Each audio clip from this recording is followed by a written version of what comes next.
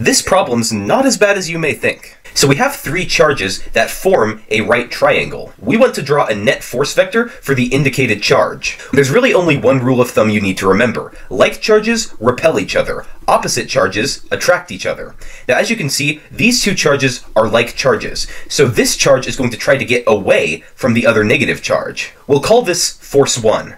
Now, as for this charge with respect to the positive charge, these two are opposite charges, meaning this negative charge will feel a force of attraction towards the positive charge. We'll call this force 2. I purposefully made force 2 a slightly smaller vector than force 1, because notice how in this right triangle, these two charges are farther apart, which means there's going to be a slightly weaker electrostatic force. The last step is to draw the net force vector, which I'll do down here. I'll use the tip to tail method. So we have the tip of force 1, which I'll draw at the tail of force 2. So a resultant net force vector should look something like this. So this is the net force vector and the answer to the problem.